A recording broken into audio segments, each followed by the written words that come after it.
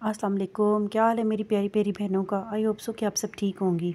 आज मैं आपके लिए डिफरेंट घर और किचन से रिलेटेड ना टिप्स एंड ट्रिक्स लेके आई हूँ। तो आई होप सो कि आपको ज़रूर पसंद आएँगे और आपकी डेली लाइफ में बहुत ज़्यादा इफ़ेक्टिव साबित होंगे। अच्छा मेरा जो फ़र्स्ट ट्रिक है ना ट्रिक है ना, वो इस ग्राइंडर या चॉपर से रिलेटेड है। अमूमन जैसे जैसे वक्त गुजरता जाता है और ये चॉपर और ग्राइंडर चलते जाते हैं ना तो इनकी जो छुरियाँ होती हैं वो इतनी तेज़ नहीं रहती। तो बाज़ार से भी ठीक कराए ना तो ये सही नहीं ठीक करके देते तो ऐसे ही तसली बख्श काम नहीं होती। अच्छा आपने करना क्या है कि आपने ग्राइंडर या चॉपर जिसकी भी आपने छुरियाँ तेज़ करनी है ना, उसमें गर्म पानी डालना है आपने और तकरीबन दो तीन दो या तीन कॉयल पेपर की ना छोटी छोटी गोलियाँ बना के ना, ऐसे तोड़ मरोड़ के उसको उसने इसके अंदर डाल देना है और आपने तीन चार मिनट चॉपर चलाना है। तो जब आप निकालेंगे छुरियाँ तो अच्छी खासी छुरियाँ इसकी तेज़ हुई भी होंगी इसको चलाने के बाद ना। तो आप इसका ग्राइंडर या जिस चीज़ की भी अपने छुरियाँ तेज़ करनी है तो आप इस तरीके से कर सकते हैं। मैंने एक्चुअली ना अपने ग्राइंडर की सफ़ाई करनी थी, क्योंकि अब रमज़ान आने वाला है तो मैंने कहा मैं पहले सफ़ाई कर लूँ। तो उसके लिए मैंने कहा पहले मैं इसको शॉप कर लेती हूँ उसकी छुरियाँ, फिर इसकी क्लिनिंग करूँगी। सिरके और वनीगर वगैरह में सॉरी वनीगर या उसका लिक्विड जो मैंने बनाया हुआ है ना घर में मीठे सोडे का उसके अंदर। अच्छा मेरा नेक्स्ट एक जो है ना, इन बोटल से रिलेटेड है, ये सॉसेजेस की बोटल्स हैं। तो इन जब ख़त्म हो जाती है ना सॉस वगैरह तो इसको ना फेंकने का भी दिल नहीं करता है। देखिए कितनी अच्छी बनी हुई है इनकी हेयर कैप्स इतनी अच्छी होती हैं।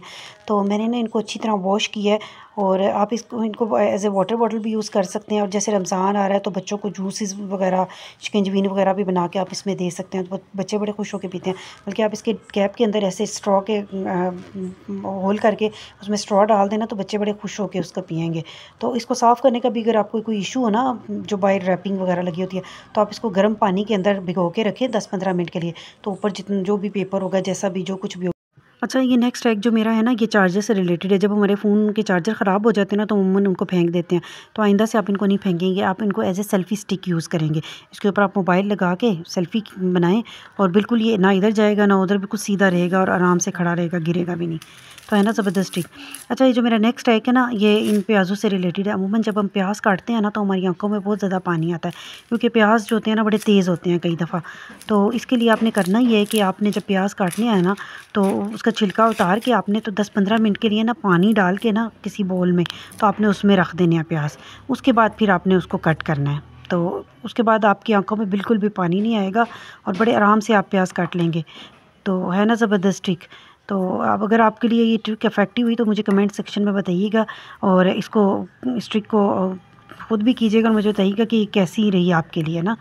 तो मेरा जो नेक्स्ट है ना, वो झाड़ू से रिलेटेड है। अमूमन जब हम नया झाड़ू ख़रीद के लाते हैं ना तो उसके आगे से ना सिरे बड़े वो होते हैं अन प्रॉपर से होते हैं। ये देखें ना, बिल्कुल पतले पतले आगे से होते हैं। तो इससे ना क्लीनिंग बड़ी मुश्किल होती है, सफ़ाई सही नहीं होती। झाड़ू ज़मीन पर लगाते हैं ना तो ज़मीन पर लगता नहीं है। तो इसके लिए आपने करना ही है कि पहले तो इसको ना बिल्कुल इक्वल आगे से पकड़ के ना तो कैंची से आपने काट देने हैं, इसके सारे सिरे जो हैं। तो इस तरह ये बिल्कुल बराबर कर देना है आपने। और फिर आपने ये करना है कि आपने ना इसके ऊपर वाली डोरी काट देनी है। ये देखिए, जैसे मैं इसके सिरे काट रही हूँ ना, ऐसे ही पकड़ के आपने इसके सिरे काटने हैं। और ये बिल्कुल इसको बराबर कर देना है। तो ये जो बारीक से आगे से अनइवन से सिरे होंगे ना, कोई छोटा, कोई बड़ा, ये सारे कट जाएँगे और ये बिल्कुल बराबर हो जाएगा। और फिर आपने ना इसकी ऊपर वाली जो डोरी है ना, वो भी काट के निकाल देनी है। क्योंकि ये उमूमन क्या करते हैं, हम जब सफ़ाई करते हैं झाड़ुओं से ना तो ऊपर वाली डोरी एक दो दिनों में खुल जाती है तो झाड़ू के तिल के पूरे बिखरते रहते हैं। तो ये इस तरह ना मैं आपको जो है बताऊँगी, इससे आप झाड़ू बिल्कुल पक्का कर लेंगे और झाड़ू के अच्छा इस तरीके से ना आपने झाड़ू के ना सारे वो खोल लेने हैं और एक लंबा सा ना मज़बूत सा पीस लेना है। किसी दुपट्टे का आप चाहे उसका पीस काट लें या कोई भी अगर आपके पास रस्सी है तो वो ले लें। रस्सी नहीं है तो आराम से दुपट्टे का कोई मज़बूत सा पीस जो हो, दुपट्टा मज़बूत सा हो तो ले लें। तो इस तरीके से जैसे मैं ना इसके पार्टीशन करके, इसके पार्ट्स बना बना के बाँध रही हूँ ना दुपट्टे में, इस तरह आपने बांधना है। मतलब एक पहले कुछ तिनके निकाल के बांधने हैं इसमें, फिर उसको नॉट लगा के, फिर मज़ीद तिनके डालने हैं और उनको भी नॉट लगा लेनी है। इस तरीके से आपने करते रहना है और पूरे झाड़ू को आपने इस तरीके से ना बाँध लेना है। तो थोड़े थोड़े करके आपने पार्ट ले लेने हैं और पूरा इस तरीके से कर लेना है झाड़ू। तो ये थोड़ा ना आपने कोशिश करनी है कि इसको मज़बूती से करें ताकि एक मज़बूत सा झाड़ू तैयार हो जाए, कस, टाइट सा ना।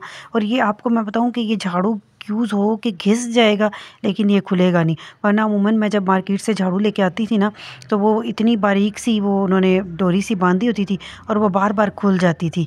तो कभी कई दफ़ा मैं अमूमन घर के किसी कपड़े से भी बांधती तो वो खुल जाता था। लेकिन ये ट्रिक एक ऐसा ट्रिक है कि अगर इससे आप झाड़ू एक दफ़ा बांधेंगे तो झाड़ू यूज़ हो के छोटा हो जाएगा, लेकिन झाड़ू खुलेगा नहीं। इतना मज़बूत और इतनी अच्छी सफ़ाई भी करता है, झाड़ू लगता भी बड़े आराम से। फ़र्श पे बहुत अच्छा लगता है, सफ़ाई बहुत अच्छी करता है इस तरीके से ना। तो पहले तो मेरा यही इशू बना रहता था कि मैं झाड़ू को बार बार बांधती रहती थी। वो बार बार खुल जाता था बार बार बांधती थी।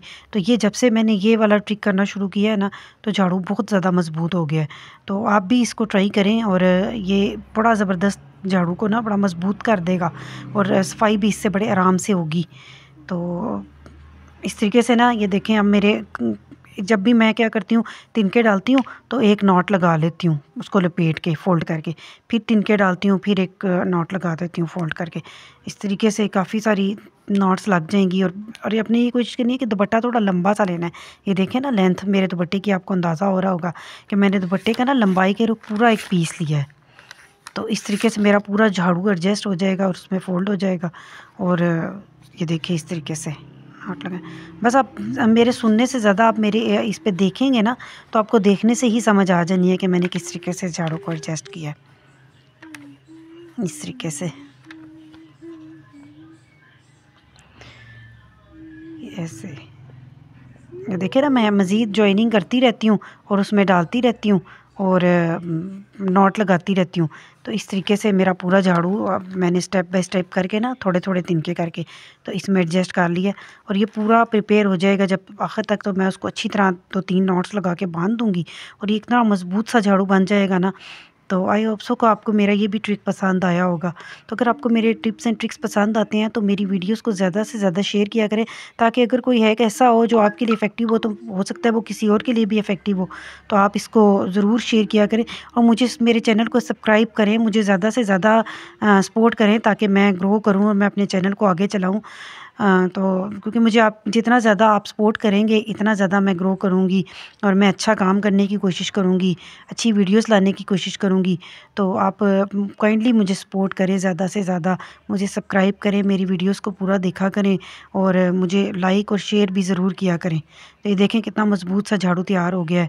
तो इस तरीके से आप भी अपने घर का जो भी नया ख़रीदा हुआ झाड़ू, ये पुराने को भी कर सकते इसके साथ ही मैं आपसे इजाज़त चाहती हूँ। हाफिज़।